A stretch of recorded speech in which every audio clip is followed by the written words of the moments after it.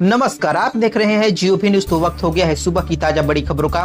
तो उससे पहले यदि आप हमारे चैनल पर नए हैं तो चैनल को सब्सक्राइब करने के बाद घंटी बटन को ज़रूर से दबा दे, ताकि हम जो भी वीडियो डालें, आप तक पहुँचती रहे। मोदी सरकार की नई योजना, रसोई से इस्तेमाल हुए तेल से चलेगी आपकी कार। केंद्र की नरेंद्र मोदी सरकार ने एक बड़ा कदम उठाते हुए खाना बनाने के लिए एक बार इस्तेमाल हो चुके कुकिंग ऑयल का दोबारा इस्तेमाल को लेकर के नया तरीका निकाला है। अब इस बचे तेल को बायोडीजल बनाने की तैयारी होगी। अमेरिका के कारोबारियों ने वेंकटेश्वर मंदिर में 14 करोड़ रुपए के दान पर रखी शर्त। आंध्र प्रदेश के वेंकटेश्वर मंदिर में दान देने वाले पहले अमेरिका के कारोबारियों ने अपना नाम बताने से मना किया है। रक्षा मंत्री राजनाथ सिंह ने पुरुष सैन्य कर्मियों को दी चाइल्ड केयर लीव की मंजूरी। सिंगल पुरुष सैन्यकर्मी और रक्षा बलों की महिला अधिकारी भी 40 प्रतिशत विकलांगता वाले बच्चों के मामले में सीसीएल की सुविधा का लाभ ले सकेंगे। और इसके लिए बच्चों की कोई सीमा नहीं होगी। रक्षा मंत्री राजनाथ सिंह ने इसकी मंजूरी दे दी है। राज ठाकरे ने बाढ़ की वजह से महाराष्ट्र विधानसभा चुनाव टालने की मांग की है। राज ठाकरे ने कहा है कि सितंबर में आचार संहिता लागू हो जाएगी और सरकार इसका हवाला दे करके राहत कार्य रोक दी है। उन्होंने चुनाव स्थगित करने के लिए निर्वाचन आयोग में दखल देने की मांग की है। उमर अब्दुल्ला की पार्टी नेशनल कॉन्फ्रेंस के नेता अकबर लोन और हसनैन मसूदी ने सुप्रीम कोर्ट में याचिका दायर की है।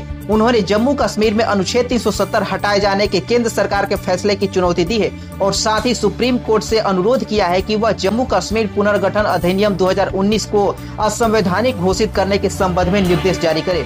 पाकिस्तानी आतंकी संगठन भारत में आतंक फैलाने के लिए अफगान लड़कों की मदद ले सकते हैं। देश की खुफिया एजेंसी को आतंकी गतिविधियों के बारे में इनपुट मिली है।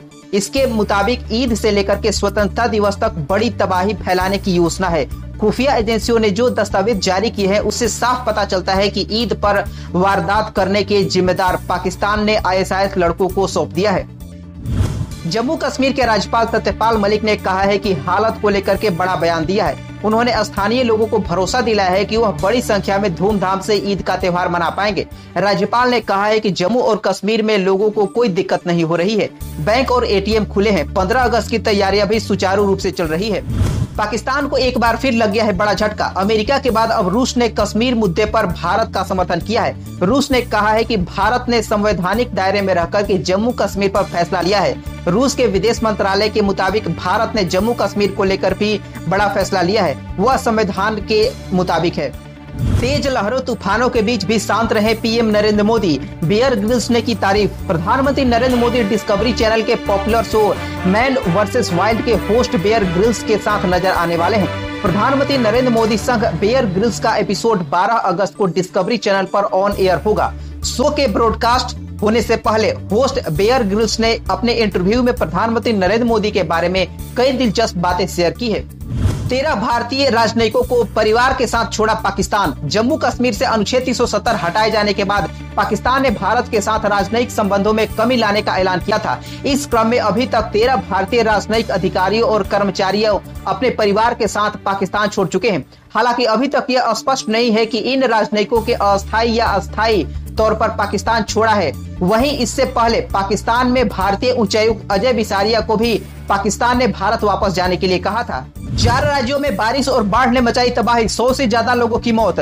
महाराष्ट्र, केरल, कर्नाटक समेत कई राज्यों में बारिश और बाढ़ ने तबाही मचा दी है। पिछले तीन दिनों में सौ से ज़्यादा लोगों की जान जा चुकी है। अकेले केरल में 40 से ज़्यादा लोगों की मौत हो चुकी है। सभी राज्यों में रेस्क्यू ऑपरेशन जारी है। फजीहत होने पर बोले सीएम मनोहर लाल खट्टर कश्मीर की लड़कियाँ मेरी बेटियाँ हैं।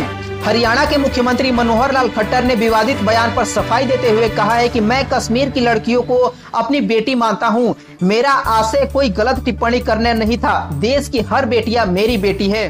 कश्मीर में डोभाल का हीलिंग टच जारी।